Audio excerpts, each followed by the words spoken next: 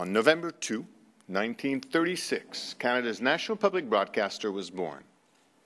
Back then, we broadcasted just 10 hours of French and English programming on the radio.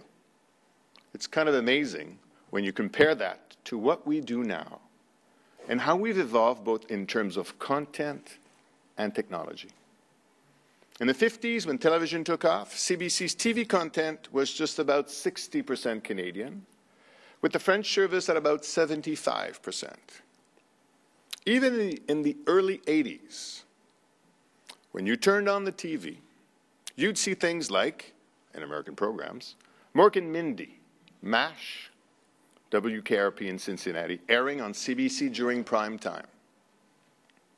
This season, CBC Television brought you Michael Tuesdays and Thursdays, Insecurity and the Debaters, and its content was 82% Canadian during prime time. And as you can see by the red on this chart, which shows Canadian programs in prime time on the major networks, we are clearly the home of Canadian programming. Et la télévision de Radio-Canada diffuse maintenant 88 d'émissions canadiennes aux heures de grande écoute.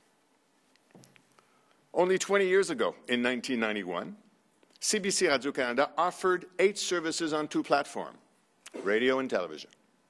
Now, if you tune in, you get no less than 30 services with content available online, on mobile devices, on cable and satellite TV. Radio shows like The Debaters and Q can be seen on television or on the web. Television shows like Tout le monde en parle in Heartland can be viewed online.